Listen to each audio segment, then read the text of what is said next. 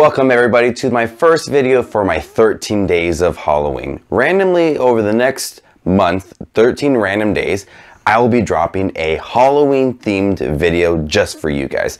This could be a ranking video, it could be a top 10, movie review, whatever it may be. I'm excited to get all these videos out to you guys. But before we get started, I have to have some proper attire. My Scott's Tots shirt is really cool. Got that Hot Topic the other day, love it. But it's not for the Halloween season. Here we go, this is much better. Today's first video is the review for Killer Klowns from Outer Space. Now, I have never seen this movie. I've always seen this movie Blu-ray copy staring me down at Best Buy saying, buy me, I'm only $7. Buy me right now. And I've almost bought it several times throughout the years, but I haven't. I sat down and watched it for the first time, and I have some thoughts. But before we get started with this video, my special guest for today is Austin Burke. He will be giving his thoughts on Killer Klowns from Outer Space and I'll be jumping in afterwards. If you guys have not checked out Austin's channel, he is a great YouTuber. He has a great personality, charisma, really great reviews. He structures his videos so nice. Love watching his videos. If you guys have not checked out his channel, please do yourself a favor and go over to his channel, subscribe to him because he is an awesome YouTuber. I'll put the link down below for his channel. Make sure to go to his channel after this video and subscribe right away. You guys will not regret it. So Austin, what did you think about Killer Klowns from Outer Space? What is up, Justin, and everyone watching this incredible channel? I am so honored to be on Justin Watches Movies, a YouTube channel that I watch fairly often. This guy is a fantastic reviewer, so I appreciate you having me on to talk about a movie that I just watched this week for the first time, and that is Killer Klowns from Outer Space. What a ride. I know Justin has a lot of horror movie reviews coming out in the month of October. I am honored to be a part of this one. If you guys don't know how my reviews work on my channel, I like to talk about the good, the bad, and then give you my score. Let's get into the good.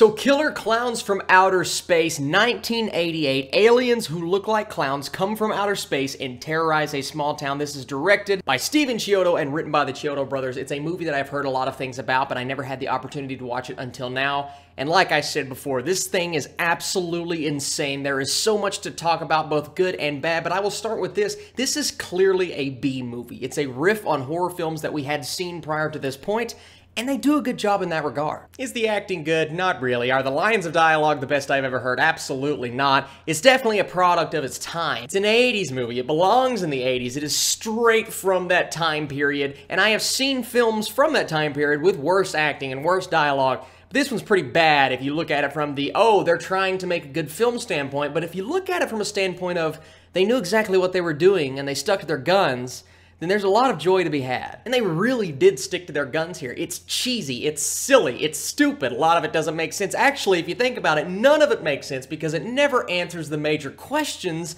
but that's part of the joy of watching a movie called Killer Klowns from Outer Space, guys. You know what you're in for. Exactly what I expected is what I got, but I had a good time watching it because it's fun, and the best part about this film is just the way that all of the special effects came across from that time period, guys. The clowns, the look of the clowns, the feel of the clowns when they were on screen, some of the scariest things, I am not kidding. I've watched a lot of horror films in my day, and I don't get scared. Jump scares, they don't get me. But when you creep me out and you just give me something that looks freaky, and maybe it's the way it was filmed, or maybe it's the fact that it's a B movie, but these clowns, the makeup and the prosthetics, it looks so good, but it looks so bad at the same time. It's a good bad thing, but it's meant to creep you out, and it does absolutely that. This is a horror film in the horror genre and it really scared me. It's not just a horror film, it's also a comedy. It's a comedy horror, it's in the title, it's on IMDb, that's what it's meant to be, and it was funny. The dialogue that I would say is really bad in other films, well, in this movie, it really kind of works. The whole thing is one giant spoof. You look at a movie like Spaceballs or Airplane. Now, those two movies I think are handled better than this because this was on a lesser budget, more of a B-movie film, especially when you look at the horror genre. Movies like this exist. A lot of people love them. I can see one 100% how this is a cult classic because it absolutely is,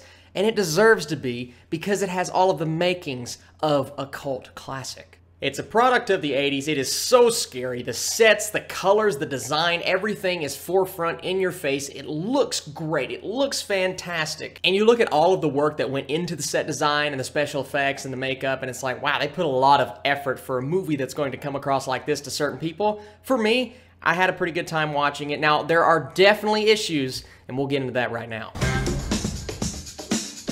I think this movie is going to suit a lot of people, and I know that I would have loved it if it came out when I was young and I got the opportunity to watch it. Now, maybe I would have been petrified out of my mind but I still would have enjoyed the content and I would have grown up with it, have that nostalgia. Now, I don't have nostalgia for this film. I just watched it for the first time. And while I can appreciate a lot of the cult aspects of it and the fact that it's a crazy, zany B movie, it's poorly done when it comes to any kind of character development or why you care about these characters or dialogue or script or plot or explaining anything. When I think about it, it's not a good movie. And it's odd to me because they put so much care into the things that I was talking about earlier, but they couldn't write the dialogue any better. They couldn't direct it any better. It has a good look to it because of all of the set design and things like that. But then when you look at the camera work and some of the CGI-esque special effects, I know they didn't really have CGI back then, but those are those are really bad. And Austin, it's, it's 1988, what do you expect? I get that. But then you watch it today, and, and I can't help but to feel that they could have done a better job. As a piece of entertainment, it's great, but the movie as a construct, what goes into making an actual film, a cohesive one at that, it's not good. I don't really know how anyone can tell me that it is good. I saw the Rotten Tomato score. I was very surprised to see that it was that high. From an entertainment standpoint, it's great, but the fact that I was laughing at the movie itself, at the way it was made the majority of the time, kind of tells me that the film itself isn't that great, so I don't really get how a lot of people are giving this a 9 or a 10 out of 10, but from an enjoyment standpoint, it is pretty fun. And it's so ridiculous that I can see how it's hard for people to dislike it. And because of all of those reasons, I'm going to give this movie, and I know it seems a little harsh, but I'm going to give it a 50%. But on Justin's channel, we do letter grades. That is why I'm going to give Killer Klowns from Outer Space a C. But I'm going to say from an entertainment standpoint, because it is a B movie, I will give it a B because it's a B movie, not that different B movie. So Justin, thank you for having me, man, helping me discover a cult classic that I have yet to see. If you guys want to follow my channel, I am at Austin Burke on YouTube. I do things, I talk about movies, but keep supporting Justin, man. You always put up great content, and I always love watching it. Now back to you. Thank you, Austin, for joining me on this review to talk about Killer Klowns from Outer Space. Can't wait to have you on the channel again soon. Like I said, I have never seen Killer Klowns from Outer Space. I've always wanted to see it, but it's never been a priority for me. And I've seen the clowns, I see what they look like, and it looks ridiculous. So I know going into this movie that it was going to be stupid, it was going to be funny, and I would laugh at this movie. And it's just that. This movie is ridiculous. The really bad dialogue, really bad scenes, movie that really does not make sense at all but still managed to entertain me. And when you have a movie like that, it's good. It's a fun movie. This is a so bad it's a good kind of film that makes no sense at all, but I really don't care because I laughed at how bad this movie is. Some of my favorite scenes in this movie have to do with the clowns just going about this town and killing people and capturing them and putting them into this cotton candy cocoon inside their spaceship. It is scenes that really add nothing to the plot of these two young people who are a couple and they're trying to get the police involved to find these clowns. That is the main story, but then you have the clowns going from one place to another, just creating havoc amongst the town. And what really baffles me, and it's not believable at all, is that you have like these six foot, seven foot clowns just walking through the city and everybody just seems okay with it. And they encounter the clowns and they smile and have a good time. Like the certain scene where the clown has the shadow puppet at the bus stop and everybody just looks at the clown and smiles like they're having a good time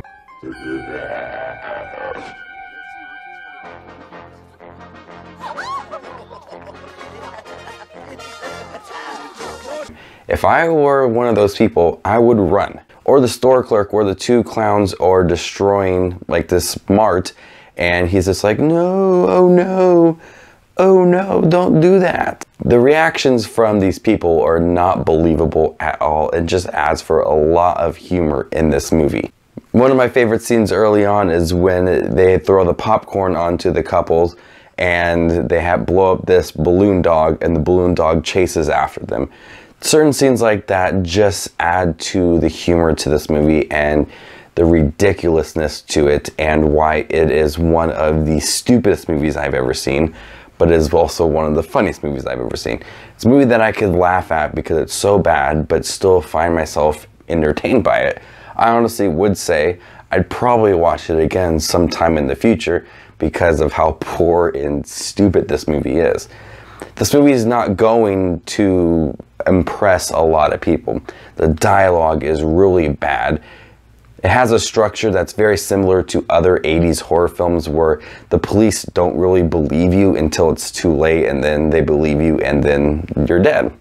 There's a lot of bright colors, but there's an overuse of a black background in a lot of scenes. I think do I do think that some of the set designs really do pop and the clowns look really creepy, but there's that overuse of just like a black backdrop in the movie. You can tell that they didn't put a lot of effort into making certain scenes. But overall, I was impressed with a lot of things in Killer Klowns, especially the costume designs for the clowns because they are truly terrifying. As I was watching this movie in the early morning, I just thought, what if a clown just walked out of the bedroom towards me? What would I do and how creepy that would be? And I was just thinking about these clowns. And there's a scene that really is probably the best scene in the movie and actually really terrifying is when they kill one of the sheriffs who don't believe in the clowns and he's using him like a puppet and he stands up and starts pushing tables off to the side. It's actually quite terrifying in a really dark scene amongst a slew of other scenes that are really straight comedy. This one was really disturbing. Killer Klowns from Outer Space is a movie that doesn't answer a lot of questions. It's silly, it's ridiculous. The costume designs are funny. This movie is just a movie that entertains you because it is so stupid, but you want to laugh at it because they did a poor job crafting this movie, but you just can't help but laugh at it. I'm gonna go ahead and give Killer Klowns from Outer Space a C. I am happy I did watch this. I was thinking of movies I have never seen before, and you're gonna get a lot of reviews for movies I have not seen before in this month for 13 days of Halloween. So I'm excited to talk about some movies I have never seen before, and I get to watch this one first, this gem of a cult classic movie, Killer Klowns from Outer Space. But I'd like to thank Austin for joining me once again on my channel. I love watching your channel and I'm so happy you agreed to be on here to talk about this movie. And it was your first time seeing it, so we got to experience one of the stupidest 80s movie of all time. Thank you guys checking out my first video for 13 days of Halloween. For the next random 12 days, we will be getting, you guys will be getting a Halloween themed video from me to you guys. This could, like, like I said, this could be a ranking video, a top 10 video, uh, television series, whatever it may be. I actually have the calendar right in front of me. I'm looking at it, uh, but it's kind of small, so I really can't see it. But, but you guys will be getting a lot of videos based around Halloween. So make sure to subscribe to my channel, hit that bell notification so you don't miss any of these videos because they will be randomly dropping. I probably will be announcing some of them on Twitter. If you guys like to follow me on Twitter, Jay Watches Movies and on Facebook, the same name, and on Instagram, the same name as well. So make sure to follow me on social media and follow Austin on social media as well. You guys are the best as always. This is Just Watch Movies, and you guys stay classy, YouTube.